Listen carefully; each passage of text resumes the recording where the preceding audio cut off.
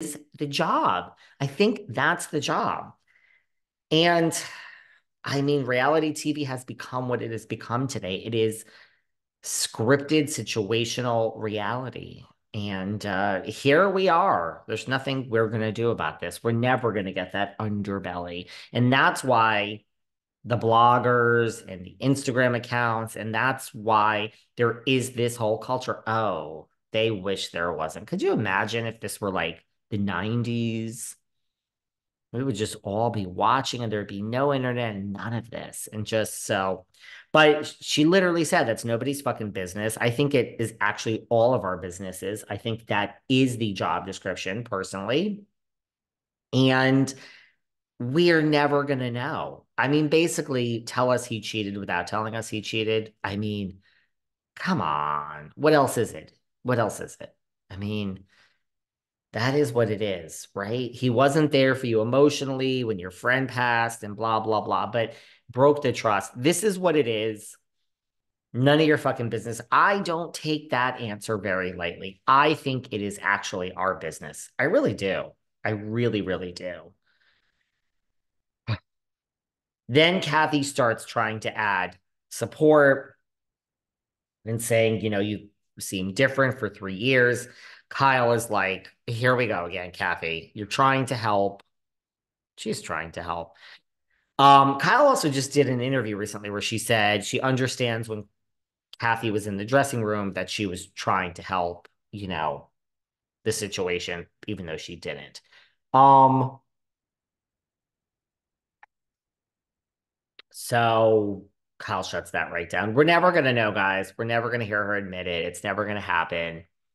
We just gotta move on. We just gotta move on. And I'm less interested in that. They talk about divorce. Like, I mean, you're going to get a divorce. Okay. Let's just, he's looking for a place to live. I mean, can I just back up for a minute? We have a whole show called Buying Beverly Hills. I assume that will be a storyline. Mauricio going and looking at his own properties of where he should live. I mean, yeah. Yeah. You're one of the top real estate brokers in the Los Angeles area. You own the agency. You can't find a fucking place to live. He's looking for a place to live. I mean, I assume Mauricio can find a place to live in under a minute, right? Represent yourself, get a percentage back. Do you know that I'm a broker in New York? If you're a lawyer, you're a broker. So when I just purchased my new apartment in New York, guess what? I represented myself and got my own commission. That's how it works. So Mauricio, that's I mean, that is actually how it works. Hi, I'm a broker. I'm representing myself. I'm going to buy this apartment. You're going to give me my commission.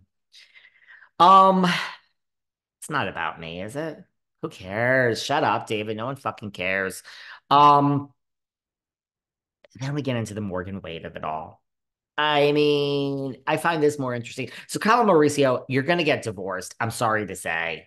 Blah blah the money the money it doesn't matter. It's just you're gonna get divorced he's gonna move out it's over.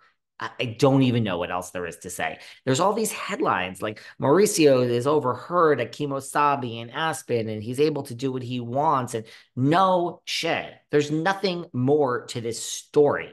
It's over Mauricio can fuck anyone he wants, and Kyle Richards is not going to fuck anyone because she is madly in love. Okay. But regardless, before we get into that, it's over. So I don't know why this stuff even makes headlines. It's over. There's no more Mauricio and Kyle. There never will be. It is over. It is dead. I don't know about Dorit and PK. They have chance. They have a chance. They have a good chance. But this one is over. It is time to call it. Should not be headlines anymore. He's gonna move out. There you go. Period go on to Beverly Hills, buying Beverly Hills, and Kyle will be on the show without him. Or we'll see him next season moving out. Now we get into Morgan Wade. And Kyle just talks about, you know, she wasn't, she, again, she's saying this, doubling down the media scrutiny, media scrutiny. She wasn't ready for this. And I agree with our girl, Sarah Fraser. She says it on the show all the time here You're going to Craig's. You're going to Chateau Marmont. They are going to places, guys. Giorgio Baldi, give me a break. For anyone who knows LA, they are going to places where paparazzi are waiting. Not just for her, they're waiting for Brad Pitt and Julia Roberts and and whoever the fuck else lives here. Sutton Stracke and Kathy Hilton and Kim Kardashian. So give me a break that Morgan is so overwhelmed because you would be in the fucking valley with sunglasses on behind Jax's fucking studio city. Jax's studio city is where you would be behind there if you didn't want to be photographed. Give me a fucking break. Give me a break. Okay. I love how Andy's like, well, you did make her a household name. Yeah, you did. You did we get into does anyone think they're together? Crystal, Crystal's doing well. Why does no one like Crystal? Why do you guys come down on Crystal? She says, Yes, people are afraid of Kathy. And yes, I thought so. I mean, we all thought so. Everyone's so shocked. I mean, look at these pictures. Dorit says it looked like you were girlfriends. They talk about the music video. They apparently they filmed it before the split rumor came up. Blah blah blah. Andy says, Is there anything going on? I mean, if someone asked you if anything was going on, like if you were straight, man, women, and someone's like, is anything going on? You'd be like, what? Like, what the hell are you? That's like the craziest thing. You want to ask me if anything is going on with me and Rachel Uchitel? I mean, that's insane. I would be like, what? Kyle's just like, no, so you guys are not a couple. No. Do you have feelings for her? Well, I love her as a friend. Could you see yourself with her down the road? She says, I don't know. You do know. I really feel we are truly, truly. I mean, Kyle even said, you know, I'm going through an evolution. I just think we are watching Kyle Richards come out before our very eyes. That is truly from the bottom of my heart how I feel. I really feel that. If we just on a granular level, big picture, let's not get lost in the weeds. I think this is a momentous moment in Kyle's life that we are all witnessing. I think she is totally smitten with Morgan. And this is it. This is it. I think she's in love. I think she's really, really head over heels in love. When Andy says, maybe we'll see her next season on this couch, and Kyle's like, maybe. I mean, I think we will, you guys. Morgan, Morgan's coming to Beverly Hills. Morgan's coming to Beverly Hills. I think next season is going to just be less about Mauricio and Kyle and more about Morgan and Kyle. I really do.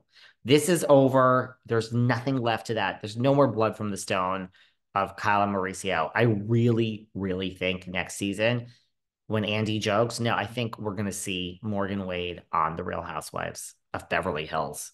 I think we're going to see her as Kyle's significant other. I think Kyle Richards is madly, passionately, head over heels in love. In love. In love. I mean, again, could I ever see myself in a million years having sex with Rachel Uchitel? Zero percent. And she's fucking hot as hell. So Kyle's not saying that. It's happening. It's on. Morgan and Kyle will be on next season of Real Housewives at Beverly Hills. They will be on.